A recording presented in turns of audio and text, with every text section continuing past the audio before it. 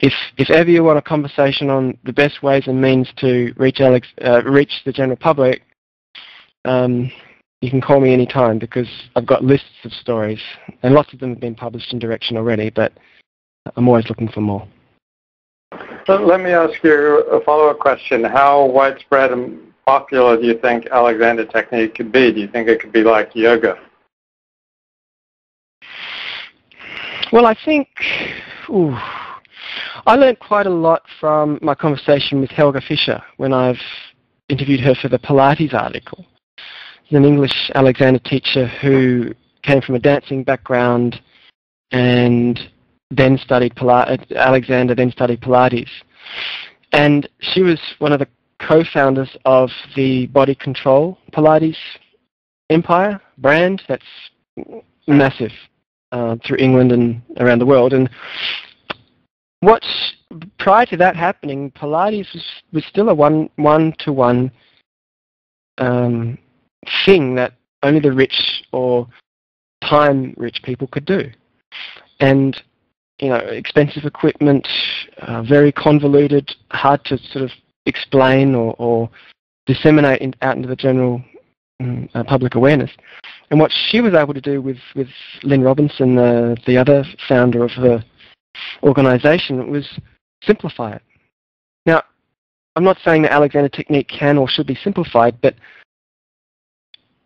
or even taught you know, on a group basis. I'm not sure if that necessarily is the only way to go, but I definitely think that the premise and the basics of Alexander's technique, the sort of things that, you know, I went to Michael Frederick, his, his workshop at the Congress, and the sort of thing that he does in a group, which is an, an introductory group, and then people then will probably come for lessons. Um, those sorts of things are very straightforward and they help people look at themselves in a way they haven't before. I think that kind of thing would, I really think those sorts of ways of sharing the ideas of Alexander Technique with 500 people in a room. Obviously you can't touch any of them probably, and not necessarily bringing somebody out the front, but methods of having people learn something about themselves that they haven't learned in any other way before. Pedro's good at these sorts of things as well. And you may not call it the Alexander technique, but whatever you do call it, they think, wow, that's really interesting. I want more of that. And the first, that first introduction may not be, this is an introduction to the Alexander technique. It may not be that. It might be more of a self-awareness or self-control or self-regulation, whatever the buzz type of word is. The engine behind what we work with is the Alexander technique. It's Alexander's work. That's what works. But up front, um, if there are if there are better ways of reaching the masses, that's what I'm looking for. Because as Mike Gelb, you know, he does he does very large groups, um, companies, and all those sorts of things, and public presentations. And he, if people ever ask him, you know, I want to study this more, he, he normally he doesn't do one-on-one lessons. He will say, look, I've got a couple of colleagues in the area. If you want to take this work, this creativity, or if this self-awareness work further, you've got to study Alexander technique. Now, he hasn't probably mentioned Alexander in his presentation, but it is the foundation of what he's teaching. Um, so I think perhaps if there's better ways to reach larger groups of people so that then they decide to, you know, dial 1-800-ALEXANDER or whatever it is. Um, that's, that, that's what I'm looking for is how do we uh, disseminate enough information for people to say, wow, that's great, I want more. And I don't know any, I don't know that many teachers that work only in groups, and I don't know whether or not that is the solution. But perhaps from a group of 500 people, introductory talk.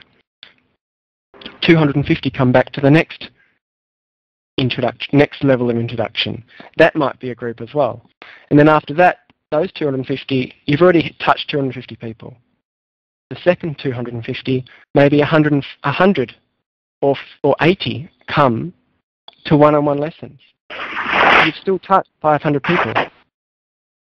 that may one day come back or may one day tell someone, I did this workshop, it's about self-awareness, it was really cool, you should look it up. And throwing the net wider like that with things that are palatable and more uh, understandable for those pe- for, for the, the normal person that isn't so introspective as an Alexander teacher that they can actually say, hmm, that's interesting. I mean, that's what hooked me. The very first time I heard an Alexander teacher say, you learn about the things you're already doing that are causing the problems, and you stop them, the problem goes away. It blew my mind. But I, I was four years old as far as looking for a solution. I was four years into it, and I wasn't willing to take no for an answer. So I was, a, you know, I was a unique individual. All the people I meet in the training schools, they're unique. They're people that are, you know, they're a little bit um, different to the average person. The average person doesn't want to spend days, weeks, months, and years learning something. They want to get on with their lives. That's why they go to chiropractors. If we can make yeah. it simple enough, to go, oh yeah, I'd be willing to put a couple of hours into that, maybe an hour a week, um, over a few weeks. If that's enough, then great.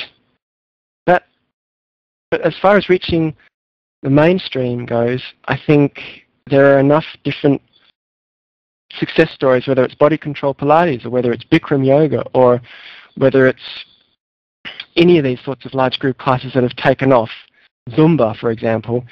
I'm not suggesting turning Alexander technique into any of those things, but there must be there must be something from those delivery models that a bright Alexander teacher can um, glean from that and find a way to reach reach people more, more where they are.